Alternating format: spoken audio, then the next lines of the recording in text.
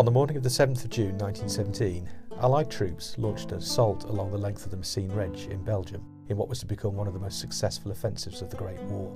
This battle was an important moment in the history of the New Zealand Rifle Brigade, whose reserve depot was based at Brocton Camp on Cannock Chase in Staffordshire. The battle lasted seven days and, by the final day, all objectives had been secured. However, such an operational and tactical success came at a price, with some 24,500 Allied casualties sustained. A hundred years on, and Staffordshire has been commemorating the centennial for a number of years.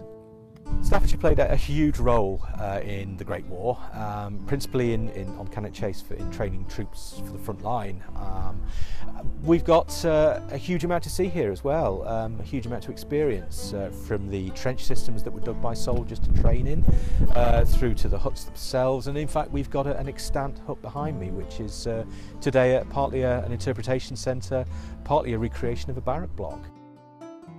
After the battle, many of the brigade returned to their reserve depot at Cannock Chase.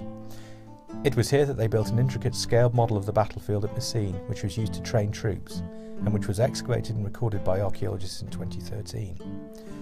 What they found was a, was a highly accurate model, and in fact, it is re- recognised as being the only one of its kind in the country, and is therefore incredibly important. We're at we're now at the uh, at the grave of, uh, of Freda. Freda was a Harlequin Great Dane. She was the uh, mascot of the New Zealand Rifle Brigade uh, and she was buried here on Cannock Chase in, in 1918. Um, she, uh, we don't know, really know where she came from. Uh, there are a number of stories. Maybe she came from Wiltshire, maybe she was born locally, and, and one even suggests she came from France.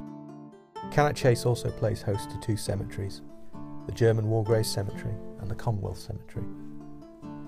In the Commonwealth War Graves Cemetery, there are a number of members of the New Zealand Rifle Brigade who are buried there to this day.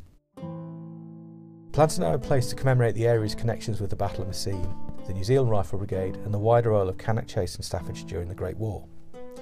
If you do want to find out more about the role of Staffordshire during the Great War, just go to staffordshiregreatwar.com